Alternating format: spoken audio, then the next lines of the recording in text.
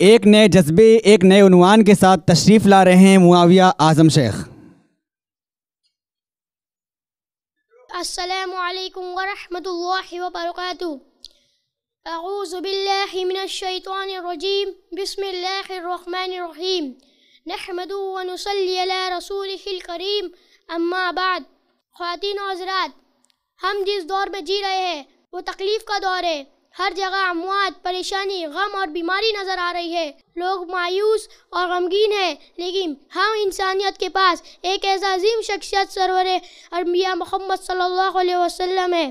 میں آپ خواتین حضرات کے سامنے آپ صلی اللہ علیہ وسلم کے تکلیفوں کا اجمالی خاکہ بیان کرنا چاہتا ہوں تاکہ ہمیں ہمت اور حوصلہ ملے۔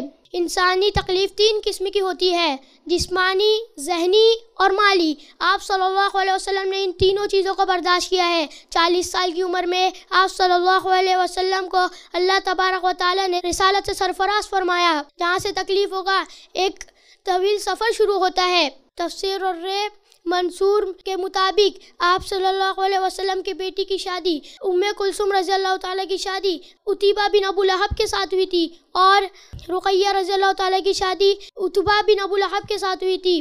جب اللہ تبارک و تعالیٰ نے سور لخب نازل فرمائی تو ابو لہب نے اپنے دونوں بیٹوں اتبا اور اتبا سے کہا، اگر تم نے محمد کی بیٹیوں کو طلاق نہ دی، تم دونوں کے سر کے لیے میرا سر حرام ہے۔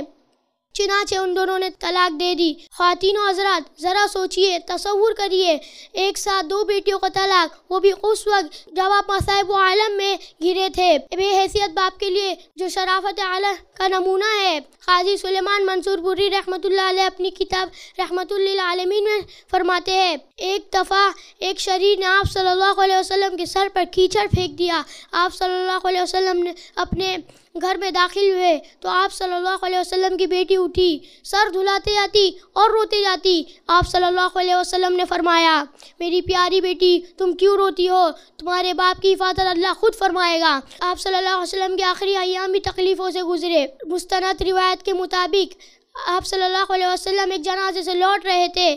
راستے میں ہی آپ کو سر درد شروع ہو گیا اور پھر شدید بخار، لاحق ہوا۔ ابو سعید خطری رضی اللہ تعالیٰ عنہ بیان کرتے ہیں کہ جو رومال آپ صلی اللہ علیہ وسلم نے سر پر باندھا ہوا تھا، جب میں نے اسے ہاتھ لگایا تو سیخ آتا تھا اور آپ کا بدن اتنا گرم تھا کہ میرے ہاتھ کو برداشت نہ ہوا۔ میں نے تعجب کیا۔ آپ صلی اللہ علیہ وسلم نے فرمایا، انبیاء سے بڑھ کر کسی کو تکلیف نہیں ہوتی، اس لیے ان کا اجر بھی بڑا ہوتا ہے۔ بارہ ربیع اول، گیارہ ہجری، یوم دو شمبہ کو آپ صلی اللہ علیہ وسلم اپنے حقیقی رب سے جا ملے۔ خواتین و حضرات، قرآن کی اس دو آیت جو کہ ایک ہی سورے کی ہے، آپ اندازہ لگا سکتے ہیں کہ آپ کو کتنی تکلیف ہوئے گی کہ اللہ رب العالمین خود قرآن میں تسلی دے رہے ہیں۔ سورہ دوحہ، آیت نمبر تین میں اللہ فرماتا ہے، وَلَسَوْفَ يُعْطِيكَ رَبُّكَ فَتَرْضَى۔ نہ تو تیرے رب نے تجھے چھوڑا ہے، نہ تو وہ تجھ سے ناراض ہوا ہے۔ اور سورہ دوحہ کی آیت نمبر پانچ میں اللہ پھر فرماتا ہے وَلَسَوْفَ يُعْطِيكَ رَبُّكَ فَتَرْضَى۔ کہ یقین مارو، ان قریب تمہارا پروردگار اتنا دے گا کہ تم راضی اور خوش ہو جاؤ گے اللہم صلی علی محمد وعلى آل محمد كما صلیت علی ابراہیم وعلى آل ابراہیم انکا حمید مجید۔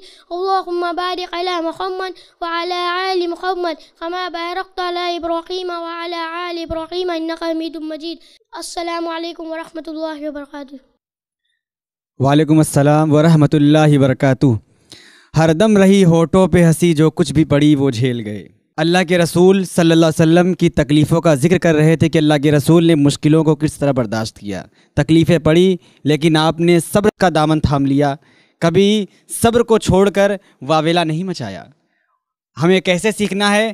اس کی تعلیم ہمیں دے رہے تھے معاویہ اعظم شیخ۔ اس کے سلسلے میں زیادہ جانکاری کے لیے ہم چلتے ہیں اپنے جج فضرت الشیخ اکبر شمس مدنی حفظہ اللہ کی طرف۔ بچے نے جس عنوان پر خطاب کیا، وہ عنوان بھی بہت اچھا تھا۔ یقیناً رسول اللہ صلی اللہ علیہ وسلم کی زندگی ہمارے لیے ہر اعتبار سے نمونہ ہے۔ اور اگر ہم کی زندگی پڑھیں تو ہمیں ہر جگہ تسلی اور خوشی ملے گی۔ دعا کرتا ہوں اللہ تعالیٰ اس بچے کو آگے ایک دین کا دائی اور مبلک بنائے۔ اور اسے کامیابی عطا کریں۔ بچے نے بہت اچھا پیش کیا۔ ایسے ہی اور ویڈیوز بنانے میں ہماری مدد کریں۔